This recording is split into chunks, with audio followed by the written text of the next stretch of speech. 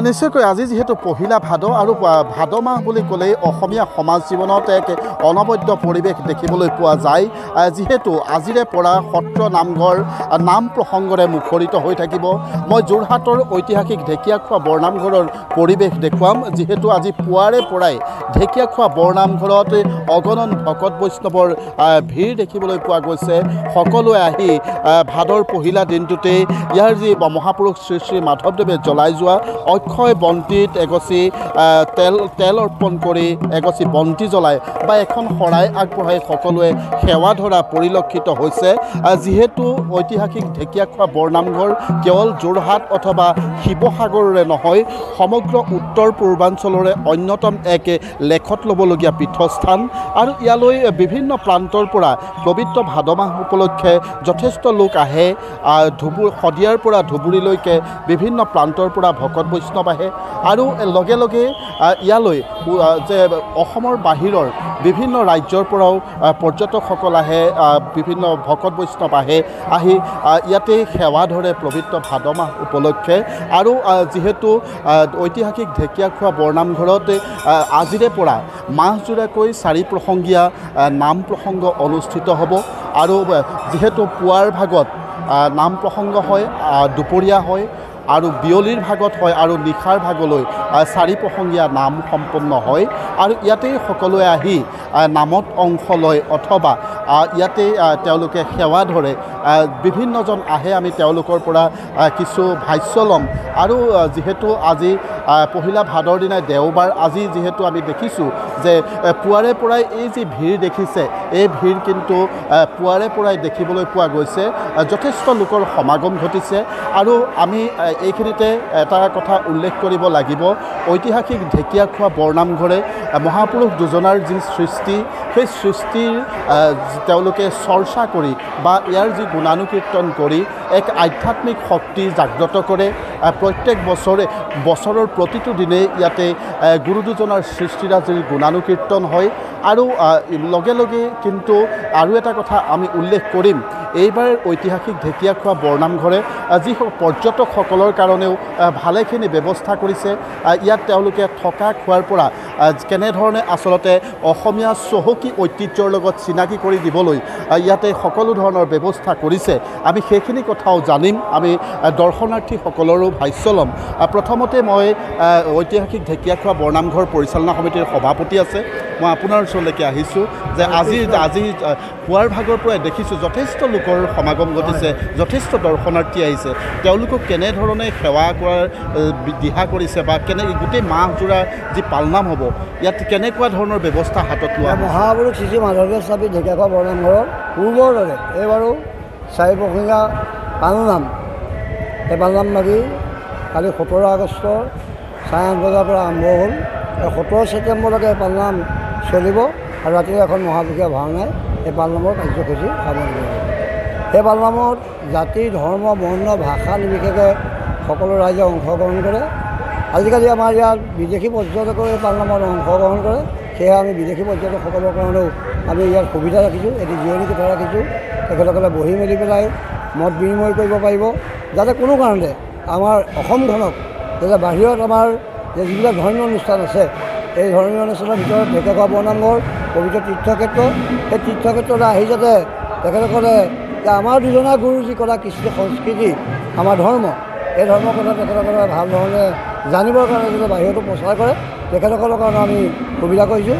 সেয়ে আমি এইখিনিতে সংবাদ মাধ্যম যোৰহাট জিলা আয়ুক্ত মহোদয় আৰক্ষী মহোদয় আমাৰ স্থানীয় যি লাডুগড় তিয়ক মৰিয়নি ইত্যাদি কৰি আমাৰ যোৰহাট থানাকে ধৰি আমি সকলো দিশত সুৰক্ষাৰ ক্ষেত্ৰত আমি সদায় আলোচনা কৰি যাত্ৰীসকলৰ যাতে কোনো কাৰণে অসুবিধা নহয় তাৰ প্ৰতি লক্ষ্য ৰাখি আমি কাম কৰিছোঁ।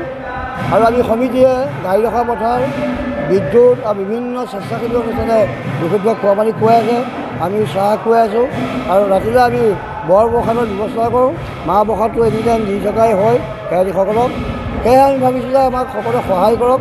সহায় কৰিলে আমাৰ এই পালনাম লাগি উদযাপন কৰাটো আমাৰ আমি সাফল্য মন্দিৰ হ'ম। সেয়ে আমাৰ স্থানীয় যিসকল গাঁও এই গাঁৱৰ ৰাইজো আহক আহি পেলাই খেৰালীসকলক সেৱা শুশ্ৰূষা কৰাৰ ক্ষেত্ৰত আমাক সহায় কৰি দিয়ক। ই ঢেকীয়াখোৱা বৰনামঘৰ এই ঢেকীয়াখোৱাত অৱস্থিত কিন্তু ঢেকীয়াখোৱাৰ বৰনামঘৰে অকল কেৱল নহয় ই সমগ্ৰ অসম তথা ভাৰতবৰ্ষৰ অনুষ্ঠান সেয়েহে আমি ভাবিছোঁ যে পবিত্ৰ তীৰ্থক্ষেত্ৰত আহি আমি পুনশ্চ কৈছোঁ যে কোনো কাৰণতে অসুবিধা নাপায় তাৰ প্ৰতি সকলোৱে আমাক সহায় কৰক। আৰু খেৰালীসকলৰ আমাৰ যিসকল যান বাহন এই বাহন যান বাহনসমূহ ৰাখিবৰ কাৰণে আমাৰ চাৰিখনকৈ গাড়ী ৰখা পথাৰ আছে। আমি ৰাস্তাটো আহল বহলকৈ বনোৱা হৈছে। পিছৰ ৰাস্তাটো আহল বহলকৈ বনোৱা হ'ল। যাতে কোনো কাৰণতে অসুবিধা নাপায়। কোনো কাৰণতে অসুবিধা নাপায়। তাৰ প্ৰতি লক্ষ্য ৰাখি আমি সকলোৱে চৰণত আমাৰ এই পাল নামৰ গুৰুজনৰ যি অক্ষয় বন্তি এই বন্তিয়ে সকলোকে মংগল কৰক দেশৰ পৰা মাৰি মৰক দুৰ্ভিক্ষ আঁতৰি যাওক। অসমৰ মাননীয় মুখ্যমন্ত্ৰী বিধায়কসকল মন্ত্ৰীসকল সাংসদসকল তেখেতসকলকো আমি আশীৰ্বাদ কৰিছোঁ। সকলো কুশলে থাকক আমি সকলোৱে একেলগে থাকি আমি বহু ভগৱন্তৰ কাম কৰিম। ধন্যবাদ। নিশ্চয় অত্যন্ত গুৰুত্বপূৰ্ণ কথা মহাপুৰুষ শ্ৰীমন্ত শংকৰদেৱে যিহেতু কৃষ্ণ সংস্কৃতিৰ জৰিয়তে অসমীয়া সমাজখনক একতাৰ দোলেৰে বান্ধি গৈছিল আৰু এই নামঘৰ আৰু সত্ৰ আছিল এই সংস্কৃতিৰ প্ৰাণকেন্দ্ৰ স্বৰূপ আৰু নামঘৰৰ যি ধৰ্ম সেই ধৰ্ম কিন্তু ঐতিহাসিক ঢেকীয়াখোৱা বৰনামঘৰে আজিও সুন্দৰভাৱে পালন কৰি গৈছে। মই আমি ইয়াত যিহেতু নাম প্ৰসংগ ইতিমধ্যে আৰম্ভ হৈছে মই দুপৰীয়াৰ নাম আৰম্ভ হৈছে মই তালৈ যাম কিন্তু তাৰ আগতে ক'ৰ পৰা অহা হৈছে বাইদেউ? ক'ৰ পৰা অহা হৈছে? পহিলা ভাদৰ দিনাই আহি ভাল লাগে? ভাল লাগে সেইকাৰণে আহিছোঁ গোটেই মাহটো সকলোৰে গোটেই বছৰটো ভালে কুশলে যাওক। ভগৱানৰ ওচৰত ভগৱানৰ ওচৰত প্ৰাৰ্থনা জনাইছোঁ সকলোৰে ভাল হওক মংগল হওক। বাবে আহিছোঁ পৰিয়াল পৰিয়ালৰ সকলোৰে মংগল হওক। মই পুনৰ মই দেখুৱাইছোঁ। ইতিমধ্যে আ, ঐ- আজিৰ আ, প্ৰথম পহিলা পোৱাৰ যি দুপৰীয়াৰ নাম প্ৰসংগ মই যিহেতু নাম প্ৰসংগ আৰম্ভ হৈছে মই পোনে পোনে নামৰ মাজলৈ কিছু সময়ৰ কাৰণে নিউজ এইটিনৰ দৰ্শকসকলক লৈ যাব বিচাৰিছোঁ। ঐতিহাসিক ঢেকীয়াখোৱা বাবৰ নামঘৰৰ নামৰ মাজলৈ লৈ যাব বিচাৰিছোঁ।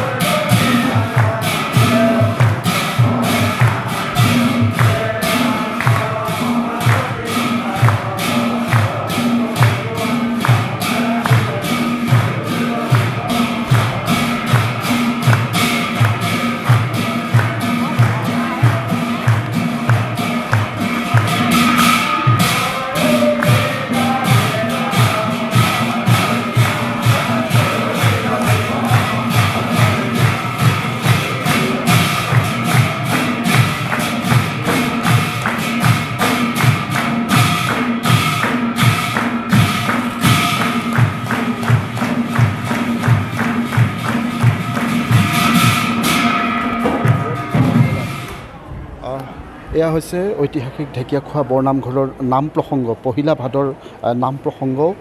ইতিমধ্যে আমি কৈছোঁৱেই যে অক্ষয় বন্তি গুৰুজনাই জ্বলাই যোৱা অক্ষয় বন্তিত আজি পবিত্ৰ ভাদ মাহৰ পহিলা দিনটোতেই সকলোৱে তেল অৰ্পণ কৰি নিজৰ পৰিয়ালটোৰ লগতে সকলোৰে মংগল কামনা কৰে। আৰু যিহেতু মই আকৌ এইটো কথাও অৱগত কৰিছোঁ যে মহাপুৰুষ দুজনাৰ যি সৃষ্টিৰাজি সেই সৃষ্টিৰাজিৰ গুণানুকীৰ্তনৰ ক্ষেত্ৰত ঢেকীয়াখোৱা বৰনামঘৰে গুৰুত্বপূৰ্ণ ভূমিকা পালন কৰি আহিছে। আৰু মহাপুৰুষ দুয়োজনাৰ যি সেই অমূল্য অৱদান সেই অৱদানৰ জৰিয়তেই যাতে সাম্প্ৰতিক পৰিৱেশ আৰু পৰিস্থিতিত শান্তিৰ সৃষ্টি হয় বা সাম্প্ৰতিক পৰিৱেশত আধ্যাত্মিক শক্তিৰে যাতে সকলো জাগ একত্ৰিত হৈ থাকিব পাৰে।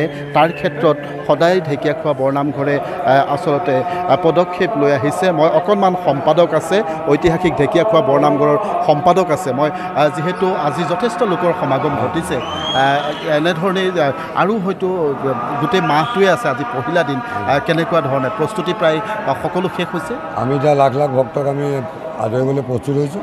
আৰু আমি তেনেকৈ যা যোগাৰো কৰিছোঁ। আৰু আপোনালোকৰ সংবাদ মাধ্যমৰ যোগেদি ঢেকীয়াখোৱা বৰনামঘৰৰ পৰা আশীৰ্বাদ প্ৰদান কৰা হৈছে। আৰু ইয়াতে জাতি ধৰ্ম বৰ্ণ নিৰ্বিশেষে সকলোকে আহি পেলাই এই কৰ্মভাগীত মাহ যোৱা পালনামত আহি পেলাই সহায় সহযোগ কৰি এই পালনাম ভাগ ভাগি সফলমণ্ডিত কৰিব বুলি আশা কৰিছোঁ। আৰু আজি যেনেকৈ আজি প্ৰথম ভাদ আজি যিমান মানুহ হৈছে আৰু ভৱিষ্যতলৈও আৰু পিছলৈও এমাহলৈও ইয়াতকৈ লক্ষ লক্ষ মানুহ হোৱাৰ সম্ভাৱনা আছে আৰু হয়ে। আৰু সেই বস্তুৰে আমি প্ৰস্তুতি চলাইছোঁ। আৰু ভক্তগণে আমি কষ্ট মষ্ট নোপোৱাকৈ আমি অপায়নৰ ব্যৱস্থা কৰা হৈছে চাহ পানীৰ ব্যৱস্থা কৰা হৈছে। বহিব মেলিবিলাক আমি ব্যৱস্থা কৰা হৈছে। সেয়েহে আপোনাৰ সংবাদ মাধ্যমৰ যোগেদি সমূহ বিশ্ববাসীক এই পালনামলৈ আমি নিমন্ত্ৰণ জনাইছোঁ আৰু সহায় সহযোগ কামনা কৰি আপোনালোকক নিমন্ত্ৰণ নিশ্চয় মই ধন্যবাদ জনাইছোঁ আপোনাক। ইতিমধ্যে এয়া হৈছে আমি নামঘৰৰ ভিতৰ চোৰাৰ পৰিৱেশ দেখুৱাইছোঁ। আমি ভিতৰত যথেষ্ট লোকে ইতিমধ্যে নাম প্ৰসংগত অংশ লৈছে আৰু এনেধৰণেই আজি পহিলা ভাগৰ দিনাই যে ভকত বৈষ্ণৱেৰে এক প্ৰকাৰ লোকাৰণ্য হৈ পৰিছে ঐতিহাসিক ঢেকীয়াখোৱা বৰনামঘৰ আৰু সকলোৱে আহি প্ৰভু ভগৱন্তৰ চৰণত নেদেখাজনৰ চৰণত আঁঠু লোৱা পৰিলক্ষিত হৈছে।